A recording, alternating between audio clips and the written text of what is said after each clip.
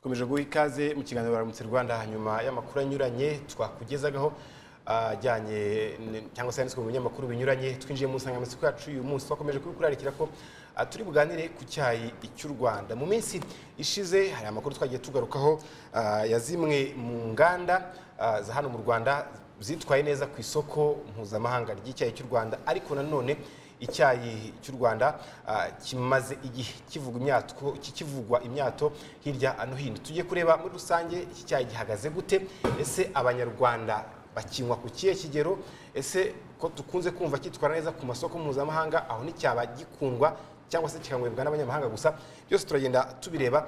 Tukaba rero duhaye ikaze isa nkuru nziza akaba ari umuyobozi muri naeb cyangwa se eh, ikigo cy'igihugu gishinzwe um, kohereza kohereza mu mahanga ibikomoka ku buhinzi n'ubworozi. ibikomoka ku buhinzi n'ubworozi mu washinzwe icyayi turwaye ikaze. Murakoze cyane. Ah, iyo abantu bumva icyayi eh, akenshi bakunze kumva abantu bavuga ngo gikundwa n'abanyamahanga. Ukagira ngo abanyarwanda bo ubwabo ntibagikunda cyangwa se ntibakinywa ubundi gihagaze gute mu banyarwanda? Mu banyarwanda ah, ntabwo turagira uwo muco wo kunywa icyayi cyane Ah, turacyari munsi ya kabiri ku ijana by'icyayi tweza cyangwa dushobora gu- gu- kweza mu gihugu. Mirongo icyenda n'umunani ku ijana by'icyayi by'umusaruro w'igihugu ujya mu mahanga. Uraza no kutubwira mu bushakashatsi mwakoze impamvu. Eh, impamvu ni umuco ah, cyane cyane bihura n'umuco cyane. Iyo ugiye mu bindi bihugu bitandukanye nk'ubushinwa mu buhinde cyane cyane no muri ibi bihugu bindi by'abarabu cyane cyane ahari abasilamu benshi usanga bafite uwo muco wo kunywa icyayi. Urugero iyo ugiye nko mu bushinwa baguha ujya baguha icyayi ukanywa wakumva utakishimiye bakaguha ikindi cyayi ukanywa ku buryo ugeraho ukavuga uti iki cyayi ndaza kuza kukinywa. Niyo mpamvu rero tubona yuko icya mbere ahanini ari umuco ariko ni cyo turi gukora nk'uko mumaze iminsi mubibona twamamaza icyayi cy'u rwanda cyane cyane bicaye wenda no muri turu di rwanda.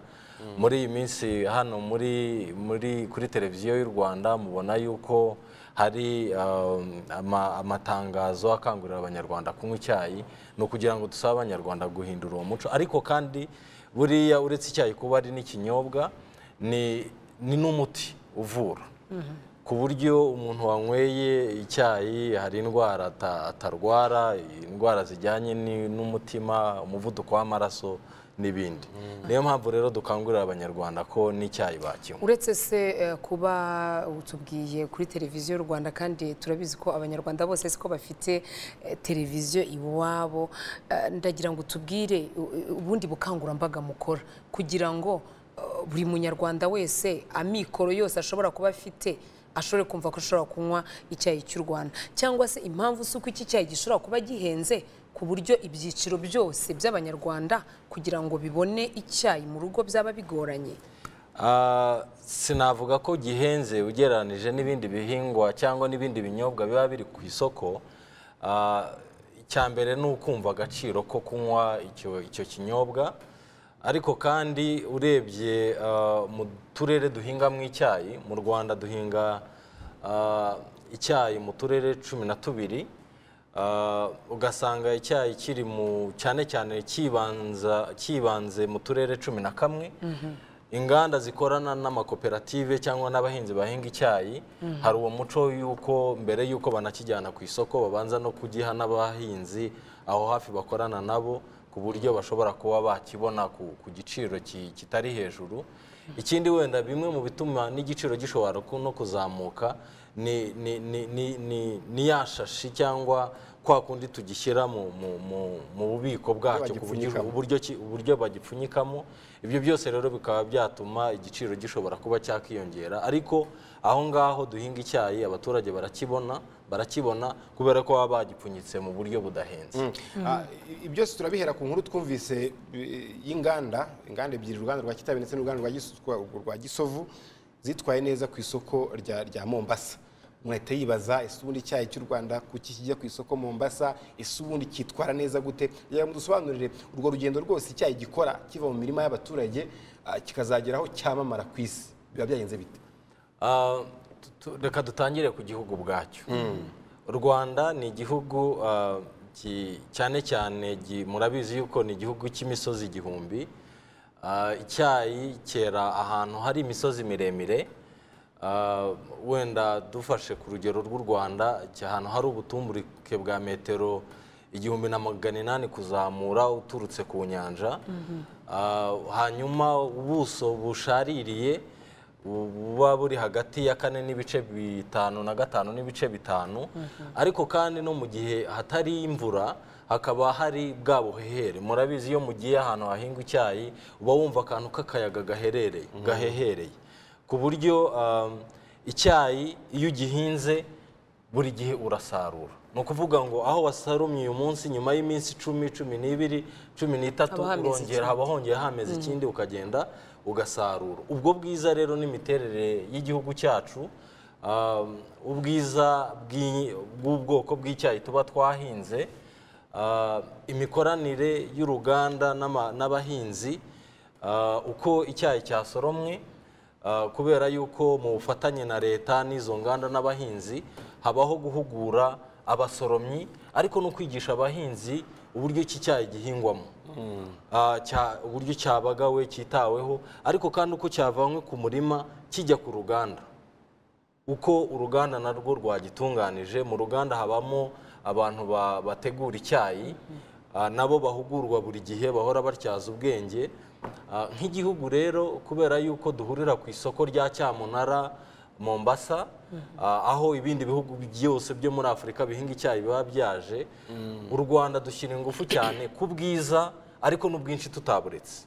Ariko kubera yuko tutahangana n'igihugu urugero nka kenya idukubye hafi inshuro icumi ku musaruro icyo tubarusha ni bwa bwiza.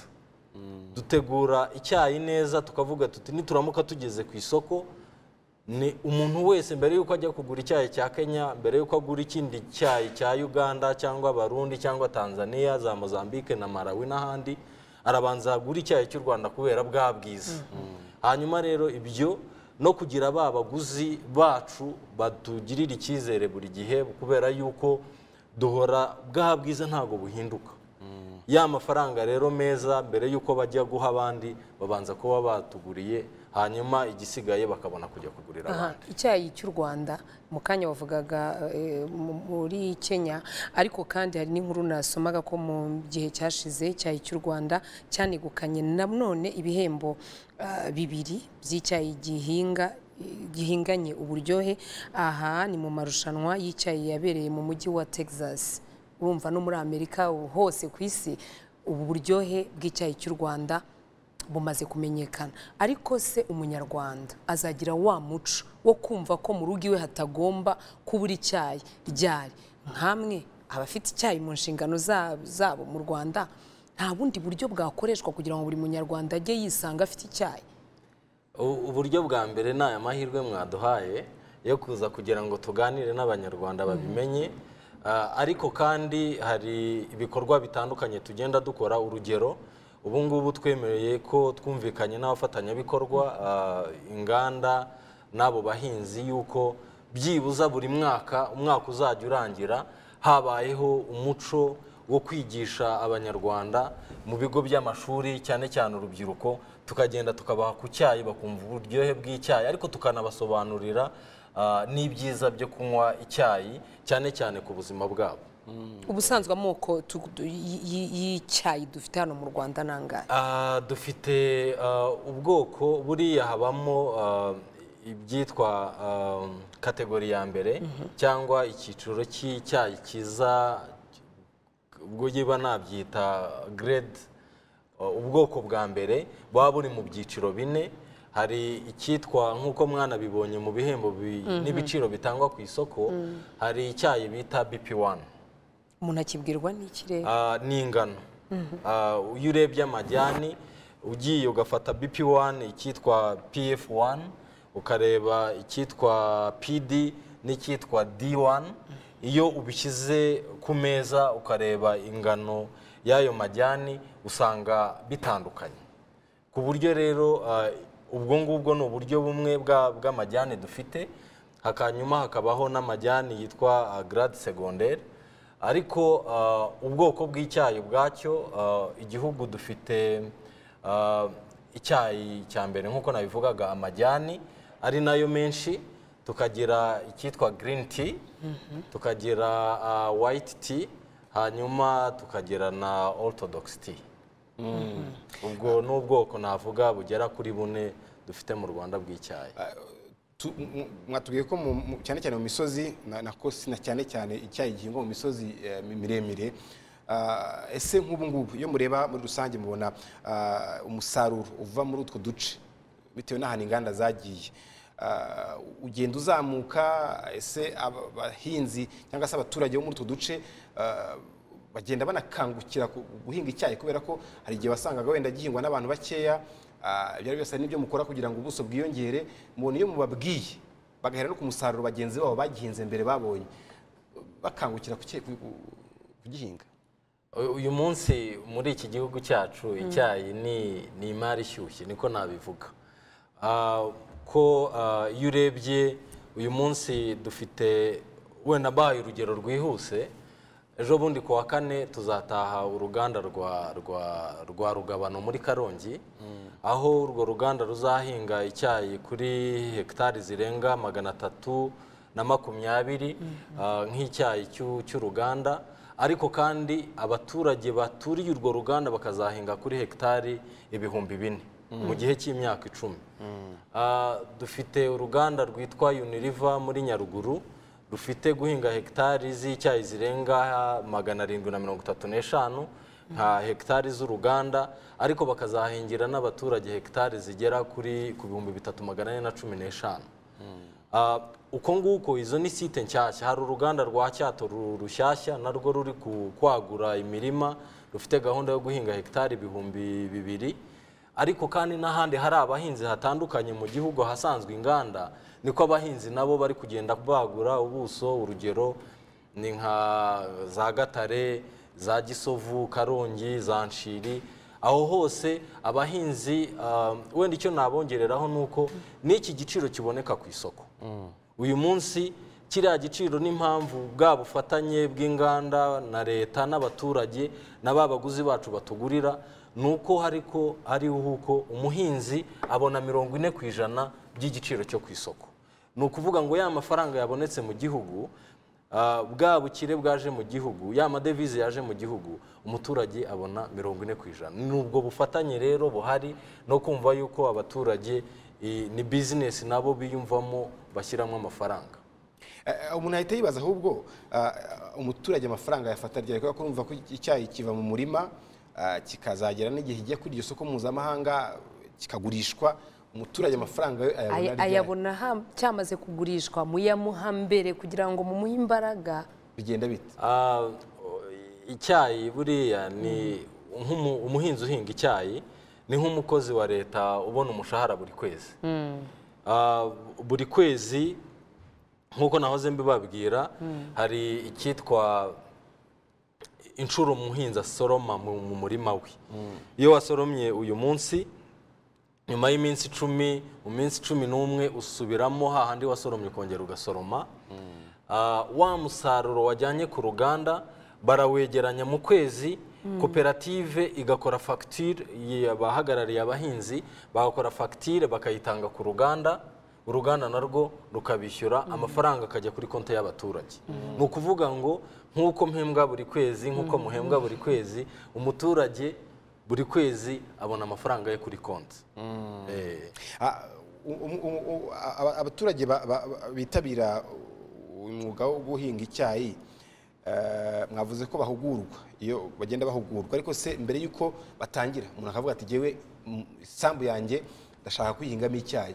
Ni ibintu ahita akora ah, abisabira uburenganzira binyura mu zihe nzira kugira ngo ah, n'utwumva cyangwa se n'udukurikiye wumva afite yakwinjira muri iyi bizinesi kandi afite isambu nini bigenda bite kugira ngo icya mbere nk'uko nabibabwiye um, ni ukureba ubutaka.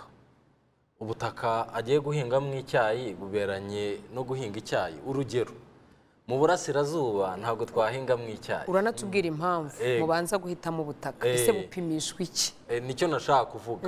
Hari uduce duhingamo icyayi cyane cyane twegereye ishyamba rya nyungwe.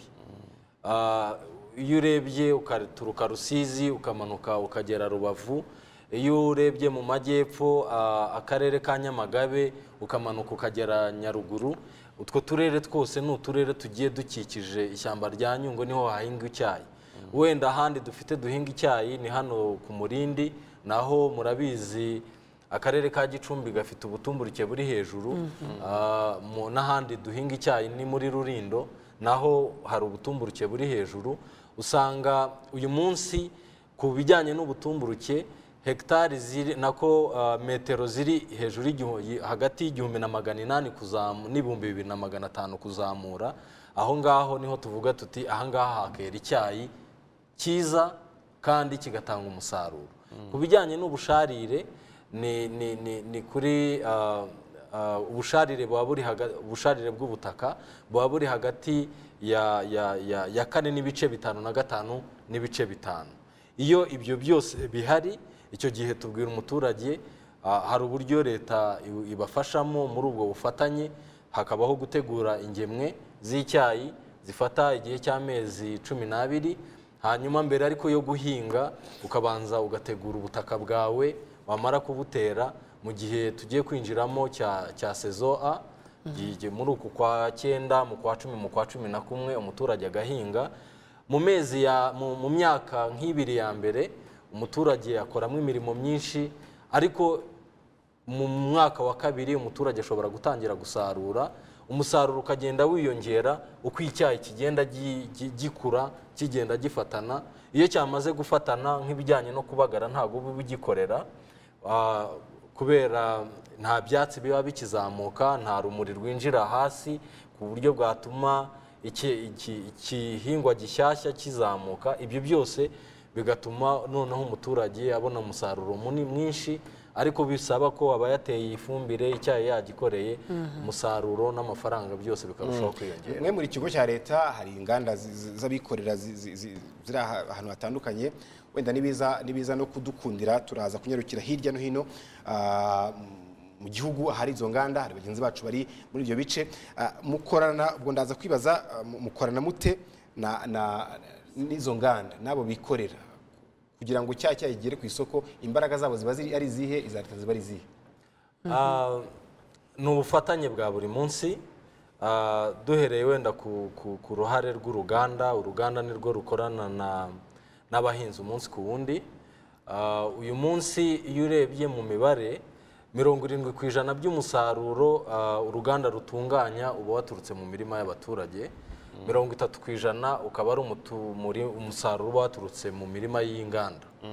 Bisaba rero yuko bakorana umunsi ku wundi abagoronome b'inganda n'abakoperative management cyangwa ubuyobozi bw'uruganda bugakorana amanama umunsi ku wundi bitewe na wa murongo igihugu kiba gifite wo kuvuga ngo dushyize ingufu muri karite ariko na kantite na yo ntituyisiga inyuma. Ah, ibyo bakabirebaho hakaba ku, buryo bwo gutwara umusaruro nk'uko nabibabwiye umusaruro ukagera ku ruganda ukahagerera igihe.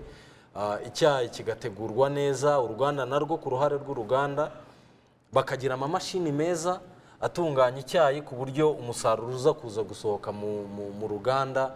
Ari wa musaruro tujyana ku isoko aba, abaguzi b'icyayi b'abaguzi bacu n'abandi bakavuga bati icyayi cy'u rwanda cyahageze mbere y'uko tugura icyayi cy'ahandi turabanza tugure icyayi cy'u rwanda. Uruhare rwa leta rero hari nk'uko nababwiye hari iyo mihanda Ah, iba ivana icyayi ku, ku mirima y'abaturage ukigeza ku ruganda ni uruhare rwa leta gufasha abaturage gukora ya mihanda kugira ngo iyo imihanda itameze neza icyayi kitatwawe neza ntago umusaruro nawe bwa bwiza dushobora kubugeraho ko icyayi gitangira gupfa.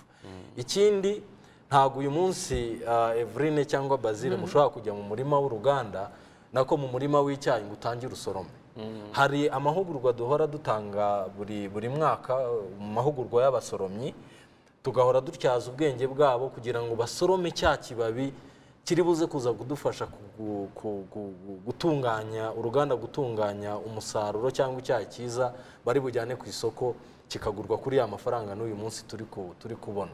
Ikindi hari ba bandi bakora icyayi mu ruganda. Bariya bakora icyayi tubita abatimeka hari amahugurwa buri mwaka dutegura. Nka nayebu ah, abafasha gutyaza ubwenge bwabo nabo bagakora cya cyayi cyiza. Ni ubwuzuzanye.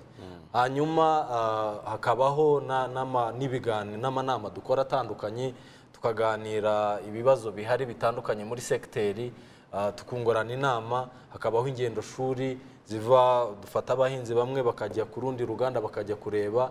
Uyu munsi nk'uko mumaze iminsi mubibona za gisovu za kitabi hari abahinzi bavuga bati cyangwa n'inganda bavuga bati reka tujye kureba ni ibiki bari gukora birenze ibyo dusanzwe dukora. Ayo masomo rero no guhana ibitekerezo ni byo ubwo iyo mikoranire uko gushyira hamwe ni byo bituma icyayi cy'u rwanda na kirushaho kuba cyiza. Mu minsi yashize ku itariki makumyabiri n'esheshatu na makumyabiri n'umunani ah, habayeho amarushanwa y'icyayi cyiza muri afurika yabereye i kampala. Ah, icyayi cyiza n'ubundi nk'ibisanzwe nk'uko muri no kubibona cyari icyayi cy'u rwanda. Ah, bagombaga gutanga ibihembo bigera kuri cumi na bibiri mu bihugu byo muri afurika bitunganya icyayi. Haba haje isi yose abaguzi abari muri tekinoloji abakora amamashini Ah, ibihembo bitanu muri cumi na bibiri byaje mu rwanda. Muri bibiri na cumi na karindwi ibihembo cumi na bibiri byagombaga gutangwa muri mu marushanwa yabereye muri kenya ibihembo cumi na kimwe byaje mu rwanda. Ntabwo ari muri afurika gusa no mu isi. Icyayi cy'u rwanda ki- ki- ki- ki- kirazwi nk'icyayi cyiza. N'ikirushijeho buriya kubera ubwo bwiza bw'icyayi cy'u rwanda. Icyayi cy'u rwanda abo bose bagenda bakigura bagiha n'amafaranga meza. Ni ukugira ngo bajye kukivangisha ibindi byayi by'ahandi kugira ngo icyayi cy'u rwanda kibizamurire uburyohe n'ubwiza barusheho kubona Mm, ariko twakomeje kuvuga ku buryohe ariko nk'ukuntu ugeze kubitubwira ah, u- ndetse wanatanze urugero nko kuri kenya ni igihugu kinini wenda gifite n'aho guhinga hanini ah, bivuze ko nubwo icyayi cy'u rwanda kirangwa n'uburyohe buri hejuru bwiza ah, ariko ku bijyanye n'umusaruro umusaruro nakwita ko ari mwinshi wa wundi uzanatuma n'abaguzi benshi baza bagishaka bakibona uracyari muke. Kandi turabizi igihugu ubwacyo uko kingana na- ntabwo kiziyongera. Hakorwa iki kugira ngo uwo musaruro no mu bwinshi. Bireke kuba mu- mu- mu- muri karite gusa ariko no muri kantite ah, n'umusaruro wiyongera anatubwira uko ku isoko bihagaze. Ese isoko mufite ringana iki? Nyine birumvikana umusaruro ni mukeya umusaruro uhagaze gute? Ah, bikenewe Eh, uyu munsi uh, turebye dufashe wenda nk'umwaka ushize. Uh, twejeje toni zigera ku bihumbi mirongo itatu um, ibihumbi mirongo itatu magana atanu n'izindi toni zirengaho twinjiza miliyoni zigera kuri mirongo inani n'eshatu z'amadolari. Ariko uh, uyu mwaka uh, gahunda dufite ni uko tuzagera muri toni mirongo itatu n'enye uh, z'umusaruro tugomba kwinjiza hanyuma n'amafaranga tukinjiza amafaranga agera kuri miliyoni ijana miliyoni ijana n'ebyiri z'amadolari. Ni ukuvuga ngo amafaranga twinjiza uh, umusaruro uh, uko uzamuka ni nuko n'amafaranga twinjiza agomba kuzamuka. Iyo urebye muri gahunda dufite ndende yo kugeza muri uh, bibiri na makumyabiri na kane dufite gahunda y'uko tuzaba tu- tujyana ku isoko toni zigera hafi kuri ibihumbi mirongo itandatu na bitanu uh, tukinjiza miliyoni zigera kuri magana abiri n'icyenda z'amadolari. Ibyo byose rero bizagerwaho ari uko abahinzi inganda leta ariko nk'uko dusanzwe tubizi umuguzi aba ari umwami. Abo baguzi bacu twagura dukomeza no gushaka amasoko ndaza kugaruka ku kijyanye n'amasoko ariko iyo gahunda ijyanye no kwagura ubuso nk'uko nahoze mbababwira uruganda tugiye tuzatangira mu bufatanye na leta n'abo bafatanyabikorwa abashoramari rugabano na za karongi hari iyo gahunda yo gukomeza kwagura ubuso imirima isanzwe abahinzi bakayitaho bakazamura umusaruro tukava nk'uko nahoze mbibabwira uko icyayi icyayi cy'u rwanda kiracyari icyayi kitarakura cyane mu bijyanye n'imyaka iyo ugeranije na, za kenya igihe zatangiye guhingira icyayi mu gihumbi kimwe na magana cyenda mu gihe mu rwanda twatangiye guhinga icyayi mu gihumbi kimwe na magana cyenda na mirongo itanu na. Inganda zacu zatangiye gukora mu gihumbi kimwe magana cyenda na za mirongo itandatu kuzamura. Uyu munsi iyo urebye guhera guhera ah, nyuma ya mirongo cyenda na kane ah, inganda twari dufite ziri hafi kwikuba kabiri izari zihari. Kandi n'abandi bashoramari ba- barimo baraza abahinzi barimo barahinga icyayi hari ubwo bufatanye hagati ya leta n'abahinzi n'aba- n'abashoramari dufatanye umunsi ku wundi abo baguzi bacu bahora baza batubwira bati icyayi cyanyu ni cyiza naho twaba tutakoze neza tugakurikirana bakaduha amakuru y'ibitagenze neza kugira ngo dukosore. Ibyo byose rero ni byo bidufasha gukomeza ku- kuzamura amafaranga n'ubwiza bw'icyayi. Ku bijyanye n'amasoko ah, mirongo irindwi na gatanu ku ijana by'icyayi cy'u rwanda uyu munsi turacyakijyana muri cyamunara mombasa. Ah, mirongo makumyabiri na gatanu ku ijana na- ni ba baguzi baza bagaca ku ruhande bakaza bakakubwira bati ntabwo nshaka kujya kugurira hariya reka tu- tu- tu- tugirane amasezerano twumvikane uzajya unyoherereza icyayi. Ah, gahunda rero ihari ni uko abo ngabo baza bakagirana ubwumvikane hagati n'inganda batagiye muri muri cyamunara ah, ni ukubongera bakava kuri kuri iyo mibare muri makumyabiri na tukazamuka tukagera muri za mirongo itatu mirongo ine ah, ku musaruro wacu. Ariko kandi hari n'uburyo turi kugerageza mu bufatanye n'abafatanyabikorwa hano mu gihugu n'abaguzi bacu. Murabizi yuko na kugurisha icyayi nako kugurisha kuri interinete ni bigezweho muzi za ribaba za amazon. Ah, turimo turatekereza rero kuba twagira tea auction tukagurishiriza icyayi cyacu kuri interineti ibyo ni inyigo yakozwe ubu turacyari mu kugerageza kugira ngo turebe kugira ngo tubijyemo twizeye yuko ari ibintu bitanga umusaruro. Ah, kandi twizeye ko bizatanga umusaruro. Amasoko rero iyo urebye muri cyamunara ah, hafi mirongo itanu ku ijana by'icyayi cyacu kigurwa na, na pakistan. Ah, pakistan na yo ikigura nk'uko nahoze mbabwira ikagenda ika- ikagishyira mu, mu ika- ikagipfunyika neza na yo ikagenda icyohereza mu bihugu bitandukanye. Ah, igihugu nk'ubwongereza kitugurira kitugurira icyayi. Hari kampani yitwa Taylors of Arrogate itugurira hafi icumi ku ijana by'umusaruro w'igihugu. Ah, kandi banatanga n'amafaranga meza ari hejuru. Hanyuma ibihugu nka Egypte ibihugu nka, nka, nka za Sudani ah, na byo za Yemen n'ahandi ba- ba- batugurira icyayi cyacu. Ariko hari ikintu wenda ni byiza ko cya- cyakomeza no ku- no kugurishwa isoko ryo hanze y'u rwanda rikaba rikaniyongera kuko na cyo n'igihugu gishaka ku- kongera n'ibyoherezwa hanze. Ah, ariko se isoko ryo mu rwanda ry'abanyarwanda ryo mujya muritekerezaho. Aha cyane cyane bazire eh, mu kanya narindi kureba mu bitangazamakuru bitandukanye bahakoresha amamurikagurisha atandukanye y'icyayi ariko mu mamurikagurisha yo mu rwanda ni gake. Uretse muri rya murikagurisha rikunze kubera igikondo usangamo icyayi cy'u rwanda ariko ni gake ushobora kumva ngo rwanda ti cyangwa se abafite icyayi mu nshingano zabo bari kugaragara n'izo nganda ubwazo. Ah, kuri nk'uko nahoze mbibabwira ku bijyanye n'icyo turi gukora na wenda ninkibagiweho gatoya irindi soko ni isoko ryacu rya hano mu gihugu n'ibihugu duturanye. Ah, ntabwo twishimiye rwose ko ah, tukiri kuri rimwe n'ibice hafi birindwi Mu Rwanda. Ah, hari inganda zigera hano zigera hafi kuri esheshatu mu gihugu zi- zitunganya icyayi cyacu zikagipfunyika zikashyira mu masuperimarishe yacu dukangurira n'abanyarwanda ku- ku- kukigana bakakinywa bakakigura. Ariko hari iyo gahunda yo kwigisha urubyiruko mu minsi yashize hari hari amarushanwa yabaga y'abana. Tu- tukajyamo tuka- tugaha abana icyayi kugira ngo bacyumve.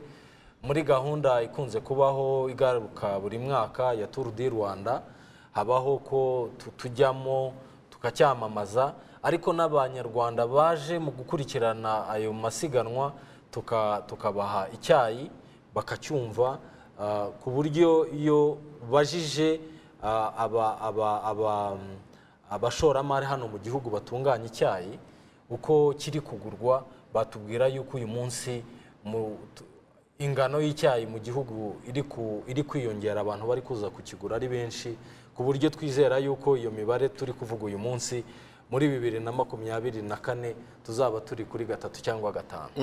Ah, tu- tugeze kubwira abadukurikiye ko turi buze no kunyarukira hirya no hino ah, mu duce cyane cyane duhingwamo icyayi. Ah, turi kumwe na mugenzi wacu Freddy Ruterana aherereye mu karere ah, mugenzi wacu ukorera Rubavu. Ubu ngubu ari ah, ku ruganda rwa Pfunda. Reka tunamusuhuze. Freddy waramutse? Ndakumva neza bazili mwaramutse neza. Mm. turimo turaganira ku cyayi cy'u rwanda batweretse ah, aho gihagaze ku isoko mpuzamahanga ariko turashaka no kumenya wa muhinzi wa wundi ah, ugihinga kugira ngo kizagere n'aho cyamara ku rwego mpuzamahanga. Ese we ubwe arakinywa ese abona icyayi ubwacyo kimumariye iki? Nk'igihingwa cyamaze kwamamaza u rwanda ndetse kimaze no kwamamara. Ni byo koko bazili aha turi ni kuri koperative yabo y'abahinzi b'icyayi cya pfunda ariko ni bigufi nanone eh, bw'aho uruganda rw'icyayi cya pfunda ah, rwubatse. Eh, aha rero turi ni ho bahurira kenshi eh, hari na sako eh, ibafasha kuzigama kugira bakomeze eh, kwiteza imbere. Ariko nk'uko wari ubivuze nkaba ndi kumwe eh, na patrice ni umwe mu bahinzi bya kigera tukaganira bahinga ah, icyayi. Ntigatura patrice uhinga icyayi ariko turagira ngo twibaze icyayi eh, uhinga ese kijya kikugarukira ukakinywa ubundi kikumariye iki? Icyayi kimfitiye akamaro kanini cyane icya mbere ndakinywa. Icya kabiri abana banjye bariga ngabarihira amafaranga akomoka ku cyayi. Ikindi iyi koperative yacu yatugiriye neza hari amafaranga ikata kuri ku kiro buri kwezi atatu ya mitiweli umwaka wajya gushyira mu kwezi kwa gatanu bakaduha ya mafaranga tukishyura mitiweli mfite inzu nubatsemo mfite amatungo abana banjye bariga na ndetse umwe yiga hariya kuri esa gisenyi undi yiga muri lise. Ibyo byose rero ndahandi mbikomora ni ku musaruro w'icyayi. Uvuze ngo urakinywa ukinywa ugikuye icyayi ng- nginywa ari uko tukiguze hano kuri pitisi gusa ikibazo ni uko hano kuri pitisi baraduhenda cyane ikiro cy'icyayi ni ibihumbi icumi. Ubwo urumva tukaba twifuza ko ngatwe abahinzi bajya baduha bakumva ko gikomoka kuri twewe noneho bakakiduhera amafaranga makeya. Kuri PTC naha ku ruganda rw'icyayi. Mm, urakoze cyane. Reka tuganire kandi na karimunda viateur nawe uri umuhinzi. Ese koko icyayi urakinywa? Ukibona ute Eh, ubundi kikumariye iki? Murakoze. Izina ngoseho gatoya ni karinda viateri icyayi koko turakinywa tukinywa tukiguze nguko mugenzi wanjye amaze kubivuga n'umuzungu ufite uruganda eh, PTC Eh, ariko igiciro ni kirekire.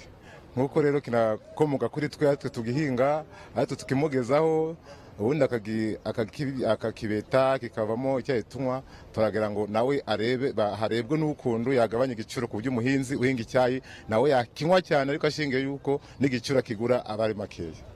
Ariko se nibura hari icyo cyakumariye? Eh, icyayi kidufitiye akamaro kenshi ku rwego rw'imibereho myiza. Eh, dushobora urugero ngewe n'aba- n'abanyamuryango bose bagera ku gihumbi magana inani bitabira mituweli ku gihe ku buryo umurenge wa nyundo uruganda rwubatse muri koperative ikoreramo usanga wese imihigo rwego rwa mituweli cyane cyane umubare wacu w'abahinzi b'icyayi ukagira uruhare mu kwesa imihigo ku- ntego ya mituweli. Eh, turi kumwe kandi na nsengimana jonathan ni umuyobozi wa koperative y'abahinzi ba hano ni we mucungamutungo wayo. Ariko ikibazo cya mbere ngiye kubabaza ah, bavuze ko ah, icyayi kukibona bibagora cyane bibahenda cyane. Hari ubuvugizi wenda mu bakora hano ku ruganda kuko nimwe muba muvugana isaha ku yindi murebera inyungu zabo ibyo murabibavuganira? Ya murakoze cyane. Eh, icya mbere tuvugana n'umushoramari kugira ngo agerageze kugabanya igiciro cy'icyayi cyumye. Eh, icya kabiri ni uko eh, buri kwezi tugerageza kugira ngo tujye mu ruganda baduhe nibura ibiro mirongo itanu by'icyayi tugenda tugabanya abakozi ndetse na bamwe mu banyamuryango. Ni ukuvuga ngo iyi nama y'inteko rusange yateranye buri munyamuryango atahana nibura inusu y'icyayi ajya kunywa iwe mu rugo. Eh, rero dukomeza no gukora ubuvugizi haba ku rwego rw'uruganda haba ku rwego rwa naeb kugira ngo begereze cyane abahinzi b'icyayi icyayi cyumye kugira ngo babashe kukinywa kuko niyo produit yabo nibo bakihinga bakimenye nabo bagikundisha n'abandi. Murakoze. Dusoza wenda iki kiganiro tugirana ubushize wenda na studio baradusubiza kuko harimo umutumirwa. Mwagaragaje ko igiciro ku kiro cy'icyayi cyagabanukaga cyane. Ubu bihagaze gute? Iki gihembwe cyarazamutse hiyongeyeho amafaranga ane ku kiro. Dutekereza yuko tuzakomeza no gushyiraho imbaraga kugira ngo gikomeze kugenda kizamuka. Eh, kuko dufatanyije n'uruganda hari ingamba zihari zifatwa kugira ngo uruganda aho bagurisha bashake amasoko meza igiciro kizamuke ku muhinzi nawe agerageze kongera ubwiza bw'icyayi agurisha kugira ngo igiciro kizazamuke. Ubu kigeze kuri angahe kize ku ijana na mirongo inani n'abiri kivuye? Kivuye ku ijana na mirongo irindwi n'umunani. Murakoze cyane.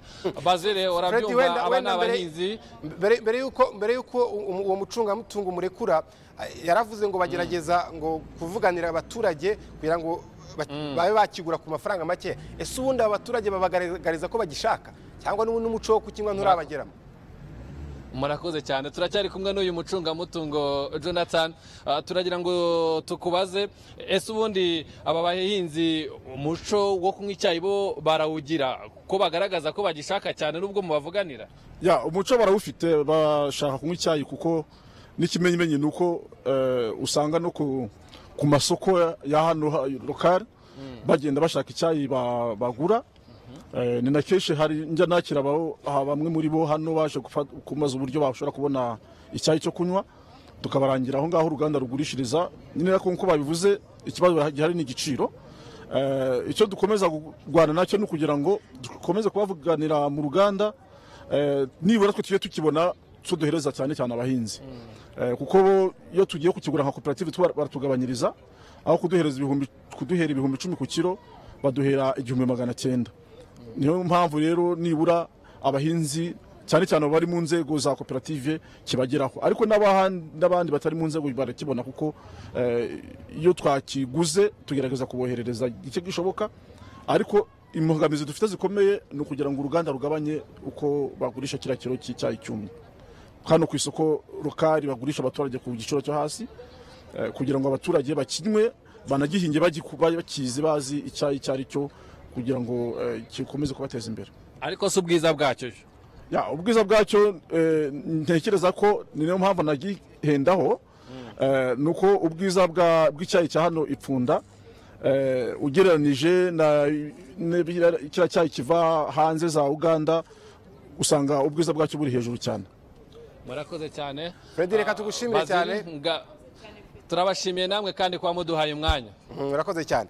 Ah, ba- bariya ni aba- ni abahinzi ndetse ubwiza bwacyo ni- ni- ntagereranywa.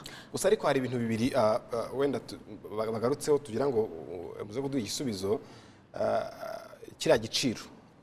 Uh, mbere na mbere igiciro bagaragaza ko ari ki- ari kinini. Hari icyo nka naib mushobora kuganira n'uruganda rukaba ari icyo rwakora. Cyane birashoboka. Bishobora kuba binashoboka ko ari na yo mpamvu n'abakoresha iki cyayi cy'u rwanda bakiri ku mubare wo hasi. Ah, duhereye ku bijyanye na na na pfunda. Birashoboka iki- nk'uko nahoze mbabwira imbogamizi ahanini zigihari ku bijyanye n'uko icyayi tugipfunyika. Ah, ziriya ambaraje dukoresha dupfunyika nizo zituma rimwe na rimwe byongeye bishobora kongera igiciro. Ariko ah, uruganda nk'uko ya- ubwe nyir'ubwite yabivugaga babaha ibiro magana magana mirongo itanu baka- bakabipfunyika. Icyo uburyo ki babipfunyikamo ni ugushyira muri ziriya ambaraje za kaki n'ubundi zigurwa amafaranga mirongo itanu. Ah, icyo tuzakora n'ubuvugizi twakora ndaza kuza kubikurikirana. Ni uko uruganda rushobora kuba rwabaha ibiro ijana magana abiri magana atatu bitewe n'abakiriya bafite cyangwa n'abahinzi babishaka bagapfunyika muri muri za ambaraje zidahenze hanyuma ubundi icyo twari twarumvikanye nka segiteri y'icyayi ni uko inganda za koperative zizashyiraho um, za kiyosike cyangwa ahantu bagurishiriza icyayi uruganda ruzajya rubaha icyayi koperative zishyire mu mantuza mu mambaraje bapfunyike muri izi ngizi za kake baho umuturage ukeneye amagarama magana atanu ikiro ashobore kuba ya- ya- ya- ya- yakibona ubwo rero turaza kuza icyo kubikurikirana. gihe icyo cyayi kizaba kimeze kimwe na cya kindi mushyira muri za ambaraje zihenze ari na zo zituma icyayi cy'u rwanda gihenda cyane.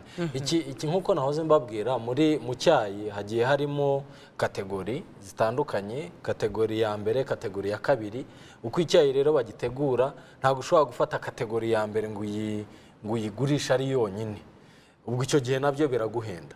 Ariko icyo bakora ni uko ba- baragifata bakakivanga bagafata kategori ya mbere n'iya kabiri bakayivanga ku ijanisha runaka ku buryo uri buze kuza kukinywa aya makategori yose.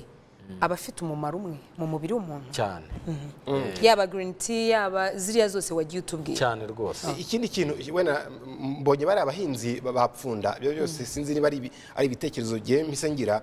U- ubonye ko na- ni abantu bakuze ni abagabo bakuze ah, tujya tunaganira tukabona ko muri sektori y'ubuhinzi mu rwanda ah, yiganjemo abantu bakuze. Abakiri bato cyangwa se urubyiruko ah, ubona ko bataragira ah, bataratera iyo ntambwe kugira ngo binjire muri iyi sektori mu cyayi bimeze bite? Ah, mu cyayi haracyarimo yego abantu bakuze ariko n'urubyiruko rurimo rurinjiramo. No mu biganiro tugirana n'abayobozi b'amakoperative cyangwa twagiye gusura abahinzi ni ukubabwira no kubakangurira yuko icyayi gikeneye gu- gukorerwa gikeneye izo ngufu gikeneye umuntu ukurikirana umunsi ku wundi ababyeyi nibareka abana babo bakore. Uyu munsi ah, iyo urebye ayo mafaranga ba bantu twavugaga basoroma iyo umusoromyi asoromye ikiro abona amafaranga mirongo ine n'atanu. Ku mwana ukuze ufite uburenganzira bwo gukora harimo n'ibindi bibazo nk'uko mubizi uyu munsi tu- tugurisha icyayi cyacu ku- isoko mpuzamahanga birabujijwe gukoresha abana mu cyayi. Ku- kuba na bibujijwe hamwe rero havuzwe ko ababyeyi rwose ba- bajyanaga abana mu mirima y'icyayi. Eh, uyu munsi gahunda dufite n'inganda mu bufatanye hari ubufatanye dufitanye na unicef. Turimo turagenda twubaka amarerero. Wa mubyeyi kubera yuko atari afite wenda umwana asigira mukuru we se nubwo asigira. iki kintu kinavugwa murakurikirana murebe ko cyacitse kuko nta bana dufite mu cyayi. Turakurikirana umunsi ku wundi. Turakurikirana umunsi ku wundi niyo mpamvu hari iyo gahunda.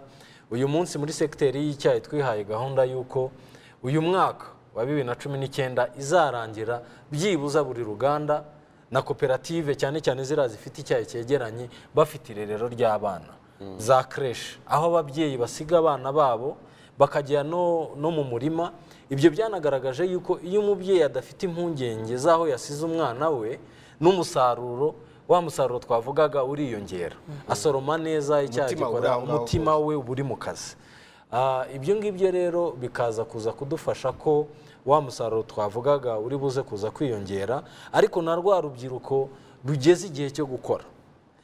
Bashobora guhugurwa bakajya mu cyayi bakagisoroma bashobora kujyamo bakagikorera. Ariko igihe n'ababyeyi ba- be bazajya basaza mu gihe bazaba bamaze gusaza icyayi ntikizasubira inyuma. Kubera yuko umwana we azaba yumva iyo bizinesi azaba yarayinjiyemo hakiri kare nk'uko mu kanya babitubwiraga uyu munsi abahinzi b'icyayi barishimye kubera yuko icyayi ni saleri cyangwa ni umushahara wa buri kwezi. Ah, hari ikibazo bavuze ariko wenda bavuze ko cyanakemutse imanuka ry'igiciro kuri bahinzi kiba cyatewe riba ryatewe n'iki? Ah, murabizi wenda ku bijyanye na- n'amasoko iyo uyu munsi dufite imvura nyinshi ni urugero. Kenya ikaba ifite imvura nyinshi ibihugu by'abaturanyi. Umusaruro ukagenda ari mwinshi ku isoko. Abaguzi nabo batiyongereye. Ni ukuvuga ngo igiciro kira- ni ukuvuga ngo kiragabanuka mu gihe cy'izuba mu gihe cy'izuba oya ahubwo mu gihe cy'izuba ibiciro biba ari byiza. Mu gihe cy'imvura ibiciro biragabanuka ariko abahinzi bakunguka mu buryo bubiri. Umusaruro wagabanutse mu gihe cy'izuba igiciro cyabaye cyazamutse ubwo n'amafaranga ashobora kuguma ari hahandi mu gihe cy'imvura umusaruro wabaye mwinshi ama- amafaranga yagabanutseho icyo gihe umuhinzi arunguka muri kantite mu gihe mu gihe cy'izuba umuhinzi ari buze kungukira ko igiciro cyazamutse na kantite nkeya wenda ashobora kuba yabonye yakuba nta mafaranga yazamutse ugasanga nta hungabana ryabayeho. Ariko icyiza gihari ni uko muri ya mikoranire yacu muri segiteri y'abahinzi inganda inzego z'ibanze na leta muri rusange ni uko mu mitwe ya- y'abahinzi iyo igiciro cyamanutse baba babizi. Iyo cyazamuka baba babizi. Ni ukuvuga ngo ni igiciro iyo kimanutse turamanukana n'uruganda kuko narwo ntabwo rwungutse. N'igiciro nikizamuka twese turazamukana. Uruganda rwabonye menshi n'umuhinzi araza kuza kubona. Menshi tukarigeza ku musozo. Abanyarwanda benshi a- arakubwira ko atanywa icyayi nta sukari.